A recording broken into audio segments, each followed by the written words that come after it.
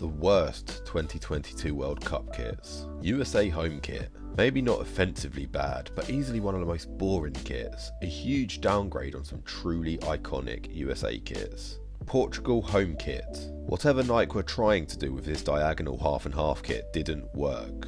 It looks tacky at best. Switzerland away kit.